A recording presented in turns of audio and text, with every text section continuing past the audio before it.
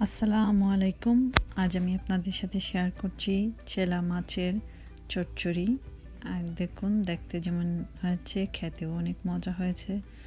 কারণ আমি সব কিছু খাওয়ার পরে বয়স দিই এজন্য বলতে পারি, খেতে মজা হয়েছে বলে।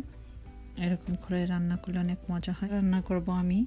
কোনো বাগার দিব না। এখানে আমি পেঁয়াজ দিয়ে দিলাম আর দিয়ে দেবো শস্য বাটা আর কয়েকটি কমলার ঝাল আর আমি মেখে ঝুঁকে রান্না এবার দিয়ে দিব রসুন বাটা। আমি এখানে রসুন বাটা দু চামচ ইউজ করেছি। এবার আমি দিয়ে দিব গুঁড়ো মশলা। গুঁড়ো মশলা বলতে এখানে শুধু আমি হলুদ আর মরিচের গুঁড়ো দেব। আমি এখানে কাঁচা মরিচ দেবো বেশ কিছু। আমি একটু জাল জাল করে করছি, তাই দিয়ে দেবো স্বাদ মতো লবণ, আর এখানে দিয়ে দিচ্ছি আমি সর্ষের তেল দিয়ে মেখে একবার চুলায় বসিয়ে দিব। এবার আমি ভালো করে হাত দিয়ে এগুলো মেখে দিব। আমি তাই হাতটা ভালো করে ধুয়ে নিয়েছি, আর এখানে আমি স্বাদ মতো লবণ দিলাম। আসলে জাল লবণ যার যারে পছন্দ মতো।